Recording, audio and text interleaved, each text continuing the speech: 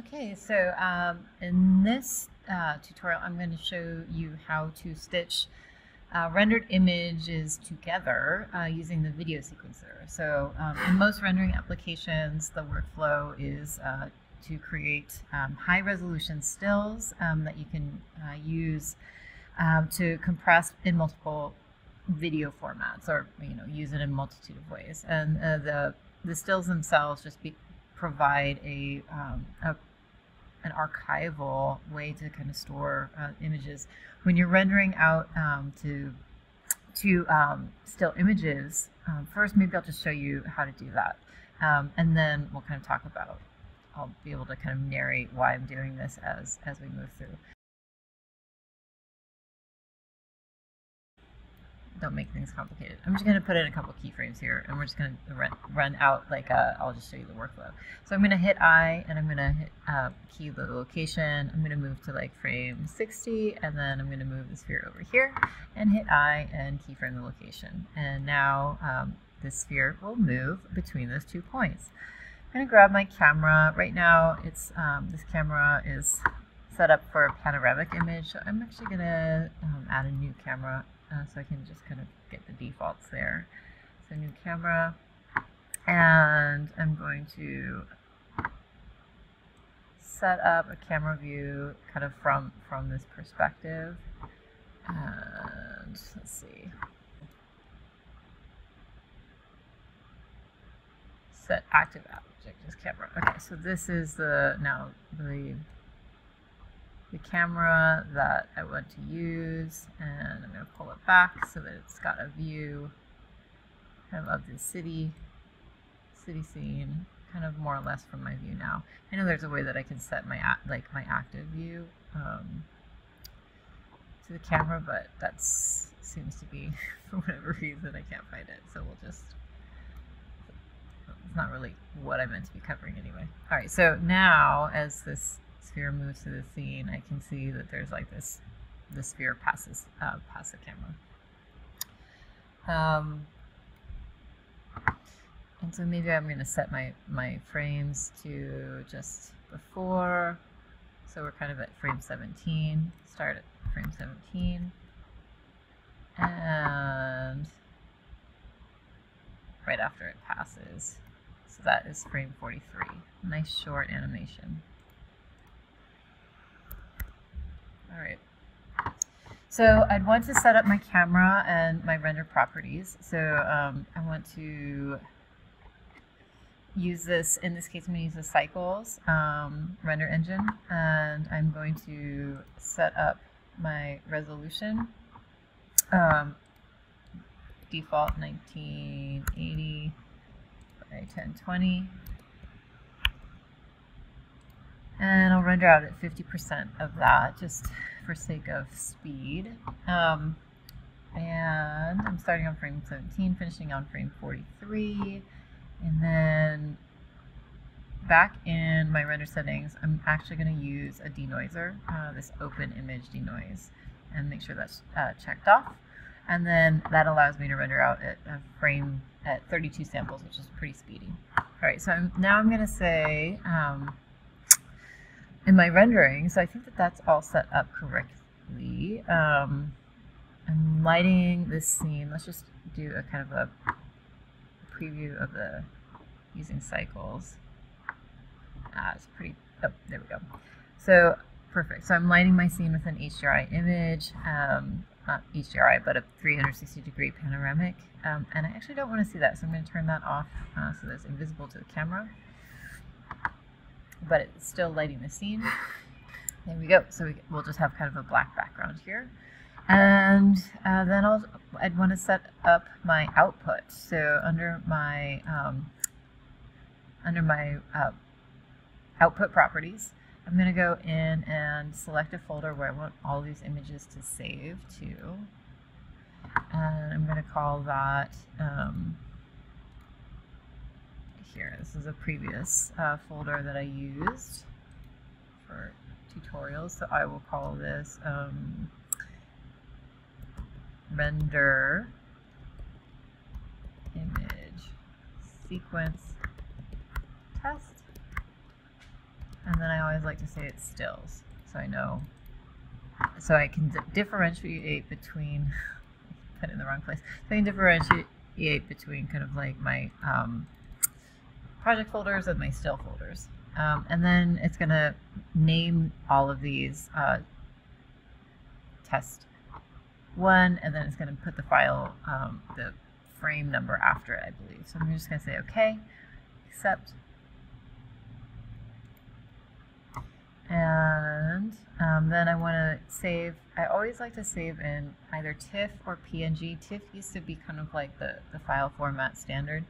But because there are uncompressed PNG options now, and because PNG is web capable, I, I have a feeling PNG is going to be a much more ar archivable file format in the long term. So if that's something that you're thinking about, you know, long term, I, th I think that it's a. I, I, I've been, I kind of have switched over from TIFF. Um, and then I set the compression down to zero. So these are going to be huge, like big files, high resolution. Again, you know, if I'm working for a client, I want to I don't want this to be 50%. And I even might, you know, compress the stills a little bit bigger, knowing that, you know, this is HD. We're already in a, 4K territory. Just knowing that screens are going to get higher and higher resolution. I like to have the images files that, that I can recompress at various resolutions, get them higher and higher. But for our purposes today, we're going to use 50% because I want this uh, to render quickly. so, okay, so that is that. I think I've got everything set up. Just going to do a, a, double check. I've got my PNG. It's going to save with a file extension. It's going to save in this folder. It's going to save with this file name. Um, I can say accept. If I don't need um, the 16-bit uh, color depth probably would be smart, again, for, for archiving, certainly if you have an alpha layer. Um, in this case, we will um, have an alpha layer uh, because this is rendering out to, um, there isn't going to be, you know, color data behind it because I've turned off the environmental image. And then um, starting on frame 17, ending on frame 43. Uh, it's 50% of an, uh, an, HD kind of file format. I'm using the Cycles render engine. Um, I'm using uh, 32 samples, and I'm going to be using this Open Image Denoiser option that all looks good. So we're ready to go and render our stills. So it will render out um, frame 17 through 43 in a set of PNG files in that folder. And I say render and then render animation. And so one of the other reasons why I like um, rendering out in animation is both for kind of archival purposes. It allows me to, you know, have the most flexibility in terms of file formats. If I have the still images, each frame is a still still image, then I can do whatever I want with it in whatever setting. The other reason is that, um, and this is happening less and less, but um, if you're not sending out to like a render farm and you're rendering on your own computer, which many of us do, uh, frequently you'll might need to stop the render kind of mid render or maybe your computer crashes. If you're rendering out to these still images, then you can pick back up where you left off. No harm, no foul. Um, but if you're rendering out in a movie file format directly out of Blender, and let's say you need to use your computer, it's kind of stalling out, or let's say goodness gracious, hopefully it doesn't happen, but let's say your computer crashes, um, you, you, you've lost all that render time. So still images is a best practices. It's super safe and kind of an industry standard. All right, so the other thing that I want to show you now is what's happening here. So it looks like each um, frame is going to take about one minute, which um, is fantastic. But um, you can see here this kind of noisy pass uh, versus um, something that's been denoised already. So there are these little like cubes that are kind of going through the image and going through and denoising. So that is that, that denoiser that I set up. It's using a machine learning algorithm, so I'll just keep it zoomed in here and hopefully it will pass by. There it goes, perfect timing.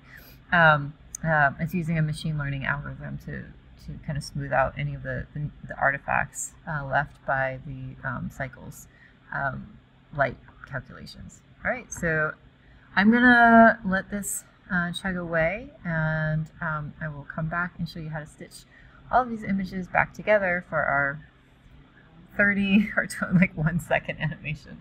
That's fine. It'll it'll do the trick. So I will uh, see you shortly. Um, and let this kind of let this render out. All right. Okay, so um, it's uh, finished rendering. Very exciting. So uh, I have my sweet little um, images here, uh, frame 17 through 43, and we see the sphere kind of passing through as uh, we move from uh, frame 17 to 43. So uh, now what we need to do, I'm going to go back into my layout mode view and we're going to stitch these back together using a video sequencer. Um, so I will have both these archived files and now this uh, video sequencer. So I'm going to open up my video sequencer and I don't really need too much real estate here. Um, start on all of the frame settings should be the same. Um, since we've rendered out from uh, these same frames, we're not in like a new file, although you can. You don't necessarily need to be in the same, uh, the same working document for this process. And then I'm going to hit Shift A for add, and I'm going to add image sequence. And I'm going to go into the folder I just created, which is, here you go, uh, frame 17 through 40. I'm going to press A to select all. Um, I'm going to start on 17 and end on frame 42. Is that true? That's 43. Say 43. No, that does actually work. and then um, the, the defaults there are fine and say add image strip.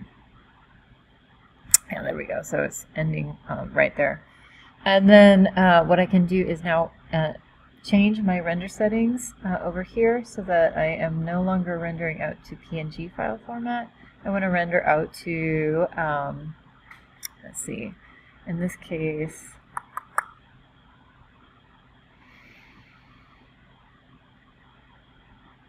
uh, we'll do we'll use this FFmpeg video co codec and then let's see encoding wrapper and then I want to use QuickTime since I'm on a, a, Mac so I can preview that. And then the H.264 is good and output quality. We could do it lossless. It's pretty, it's already really small because we're writing out to, let's not do lossless. Let's try perceptually lossless. Let's see what, how big that gets. And then, no audio. Great. So now I'm going to say under my, go back into my rendering tab. And I'm going to say render animation like let's like a few seconds, maybe one second, and it uh, rendered it out to the same uh, same folder. So that's generally what I do for each test. Like I'll have the, the stills and then the movie file. Sometimes I'll move, move the movie files out as well, so I just have the stills. But and here we go. Ooh, the sphere moves through the scene. Um, it is a one second video. Very exciting.